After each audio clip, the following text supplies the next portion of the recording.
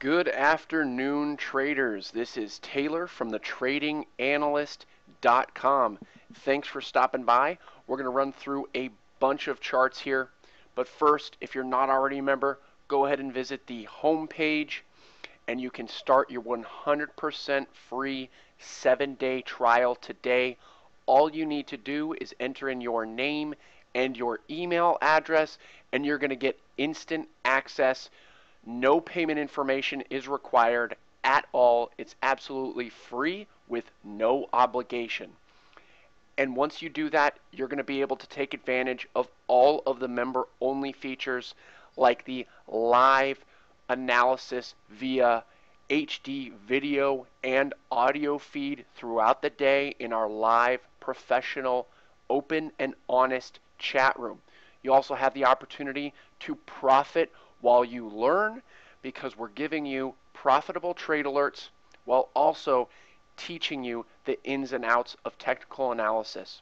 The learning never stops. We do daily webinars to help you prepare for the market day. We also do daily member videos and precise watch list and trade ideas. And those are part of the profit while you learn strategy that we have at the Trading Analyst to prepare you for the market day ahead. It's a great opportunity, and I suggest that you take advantage of it. All right, so let's get into these charts here. I'm going to start off with the S&P 500 a couple of things that I want to go over. Okay, um, we have been breaking a couple of uh, levels here. Uh, we are in a downtrend since uh, the uh, late April right here, and you can draw that downtrend line right here.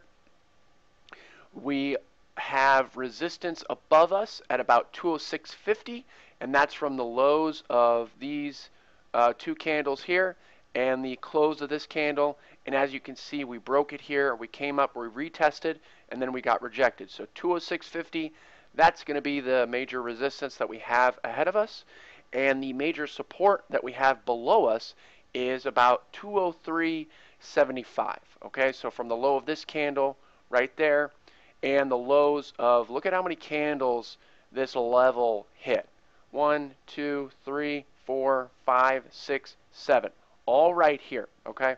So this is going to be kind of the make or break level for me. Um, if we close, if the S&P 500 closes below 203.75, then we're going to be heading lower on the S&P 500. If we hold above 204, we're going to be chopping around here most likely for a little bit, okay? So keep an eye on that 203.77 level. Another thing that I want to mention here is on the lower time frames, we also have a potential uh, falling wedge here. Okay, so uh, and keep in mind because this is going to be a pattern. Sorry, let me get it so it's uh, okay. So right around here. So keep in mind, um, and a falling wedge. If you don't know what a falling wedge is, it's a potential keyword potential, uh, potential bullish pattern. So what we can see here is a drop down here to below here and then up here and then down to here and then we would break outside of the top of the downtrend line uh, and shoot up from there. There was a falling wedge pattern over here as you can see and I'm just going to draw that out right there. So that was a falling wedge right here and we broke out of that. So this is a little smaller falling wedge and we broke out of that and that was a nice bullish pattern. We took an eye on that, uh, mentioned it uh, to our members, and our members were able to profit nicely off of that. So you're getting a nice little heads up look on this potential, keyword potential falling wedge right here. And it might take uh, several days to play out, uh, but what you're going to want to look for is, and this is the two-hour chart for the S&P 500, what you're going to want to look for is some positive divergences on the RSI or the MACD or both. Again, you got to wait for confirmation on this pattern because if the confirm if the pattern does not confirm, then this is just a downtrend, okay? And the S&P is going to be heading higher. So you want to wait for confirmation, um, and uh, you really got to know how to play these patterns. All right, so I'm going to move on to Apple. Apple, and I'm going to switch to the daily time frame here for Apple. Apple broke a key key support here at 92.55. Uh, As you can see, it was the lows over here in February, and right here we bounced from it here, here, here, here, here, and then we finally broke through it in convincing fashion. Look at this volume pop on that day as well. Almost as much as the volume that we had on that earnings gap down, okay? A lot of volume came out of the stock uh, on Thursday's trading session. And then we came up here on Friday's trading session and retested, almost retested uh, those uh, that previous support, which is now resistance. Keep that in mind. It's now resistance. Support turns into resistance. So 92.55 is now resistance. And I'm going to switch it to the weekly time frame because that's the way you're going to get the best look at uh, low targets from here. I just want to remind you we have been bearish on Apple ever since we got rejected at this uh, downtrend line right here. Okay? So this is no surprise to us. We've been mentioning it on the videos. If we lose this 92.55, which we mentioned several times, that eventually this was going to break. And it did. We got exactly what we were looking for.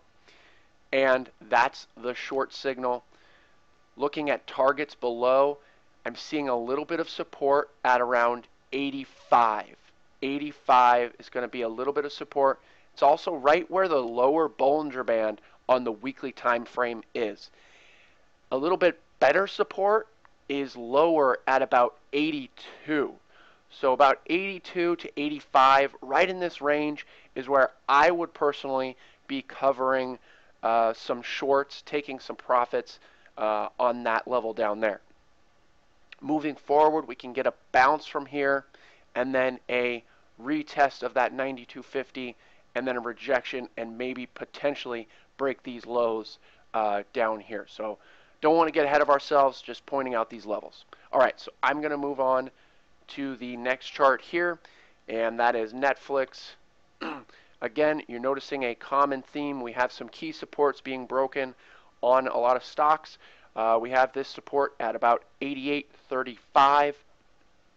88.35. You know this is a key level here.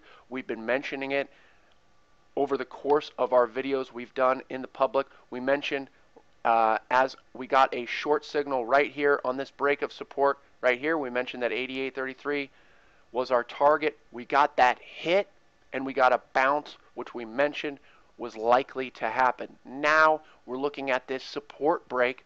We broke below the support on Thursday's trading action, similar to uh, uh, Apple's action. It came up, retested that support, which is now resistance, got rejected. It's had its chance to break above that. Looks like it's heading lower. And the next support below is about 82. 81.75 to be more exact from the low of this candle and the open of this candle. As you can see from this candle right here, it opened below it, but then it closed above it. So we've got the low right here and the low right here. So right around uh, 81.72, and as you can see, the Bollinger Band right here, this gray line, is also right there as well. So we could potentially get um, a little bit of a bounce from there, and then a retest up higher, and then a rejection. Again, don't want to get ahead of myself, just uh, pointing out those levels. Uh, next, I want to cover Twitter. Twitter, uh, just want to point out the massive downtrend line, uh, downtrend that Twitter is in. So it's no surprise. You should not be surprised when Twitter heads lower. You should be surprised when Twitter heads higher because in downtrends, stocks head lower. And that is until that trend changes. So far, we haven't seen a trend change, so you have to trade with the trend. So looking, moving forward with this Twitter trade, uh, we pointed out we, should, we would likely get a bounce from this uh, 1389, 1390 level right here from the previous low over here. We got that, and we hit our target up here just below 15. but now it's looking like it wants to break below this uh, support. Wait for that signal, um, but as you can see, it the lows right here, the lows of several candles here, and it's likely to be trading uh, kind of in a little uh, congested range right here before it decides to either break over this downtrend line or break below this support. But those are the levels that you need to be aware of on Twitter. Next, I'm going to cover GoPro. GoPro, we broke a key support on GoPro. I believe this is all-time lows uh, on GoPro. Let me just confirm.